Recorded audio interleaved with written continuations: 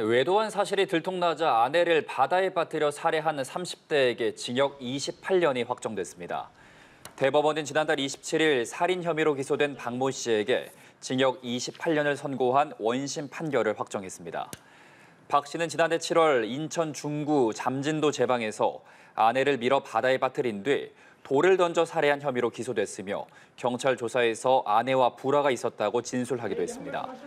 앞서 1심 법원은 징역 23년을 선고했지만 항소심 재판부는 잔혹하게 살해당한 피해자가 느꼈을 공포심과 신체적, 정신적 고통을 가늠하기 힘들다며 징역 28년으로 형을 늘렸습니다.